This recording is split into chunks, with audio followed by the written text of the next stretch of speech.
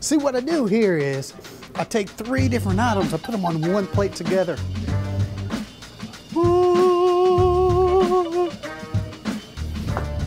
My name is Shane Henderson. I'm the uh, executive chef here at Benny Keith Foods.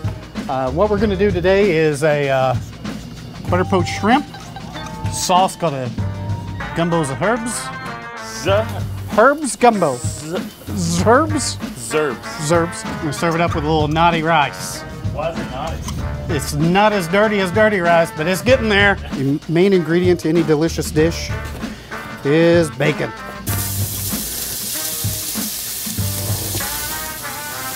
It's more of a four man's gumbo. Uh, so instead of being a lot of meat involved, this one's mostly uh, things that were cheap, greens and some herbs.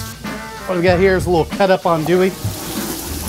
So we're gonna get more of a Cajun mirepoix going. Usually a, a real mirepoix is carrot, celery, onion.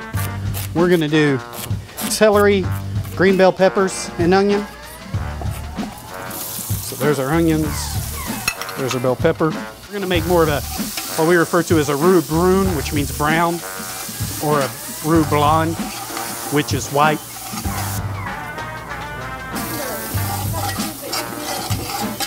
So you can see from that little bit of flour I've added in here, it's kind of started thickening up all that liquid that was in there before, all that beautiful pork fat starting to disappear. So what we've got working now is our roux blonde. So we're gonna go ahead and deglaze the pan with just a little bit of white wine. You can see already, see how that's thickened up? It doesn't look like white wine at all. So we're gonna put that back down. So we're gonna go ahead and we're gonna let this get started wilted. Then we're gonna put a little chicken stock in there, some dry herbs. Later on, I'm gonna add some fresh herbs. You add dry herbs in earlier, so you get all the oils out of them. You add the fresh herbs in later because they come out of the, the oils come out of it a lot faster. So we're gonna take about half of this head of cabbage. Now we got a lot of green onions. We're gonna go ahead and dump those in there. So what we're gonna do here is I'm gonna start the dirty rice, or the naughty rice. So usually uh, dirty rice is made with pork and uh, pork liver. Instead, I'm, I'm calling it naughty rice because I'm going to use a little bit of chicken livers and I'm going to go ahead and start with a little bit of bacon. I'm going to put, I've got about one pork chop worth of a loin. I like to use this because it's not that fatty in here, so we're going to get a nice flavor, but it's got the nice fat around the outside of it. So it's going to, fat is delicious. Uh, It's just fact. So we're going to go ahead and we're going to dice this down so you get a little bit of that into it.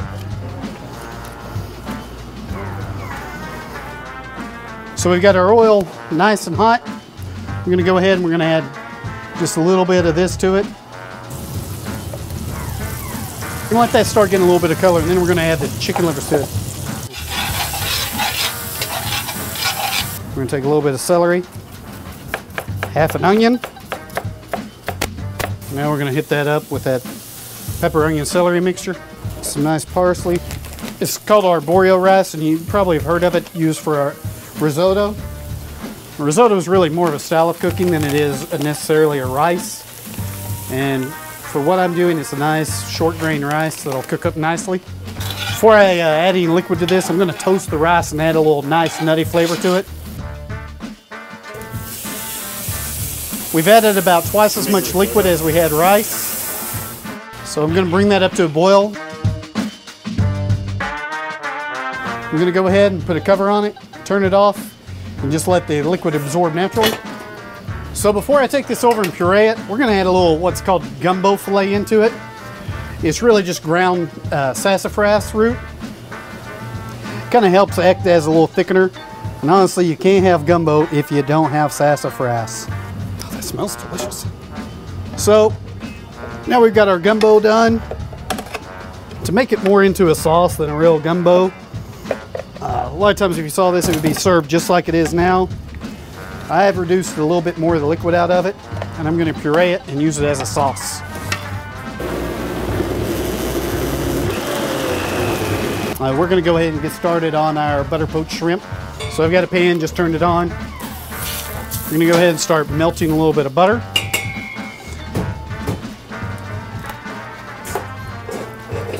This is probably one of the easiest ways to cook shrimp and Not that many people do it. We've got the butter obviously melted with a little bit of the Old Bay and the bay leaves in there. I'm gonna add just a little bit of water to it, just to give us a little poaching liquid that will hopefully help it not to burn. And dump it in there. As long as you've got enough butter to cover the shrimp, everything will work.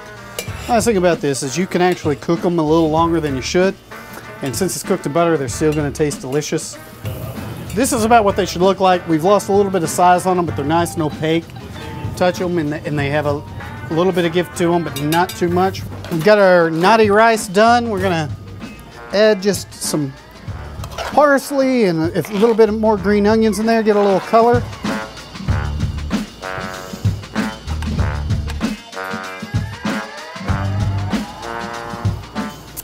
And naughty rice with gumbos of herbs and butter poached shrimp. Match your next course.